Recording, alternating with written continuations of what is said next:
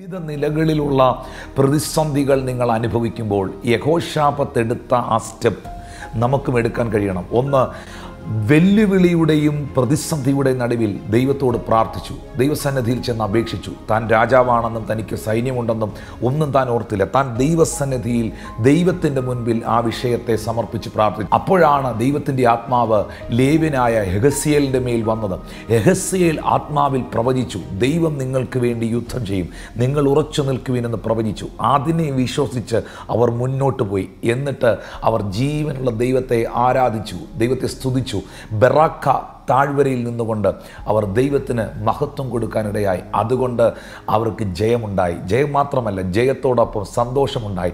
ജയവും സന്തോഷവും മാത്രമല്ല അവരുടെ രാജ്യത്തിന് സ്വസ്ഥതയുണ്ടായി.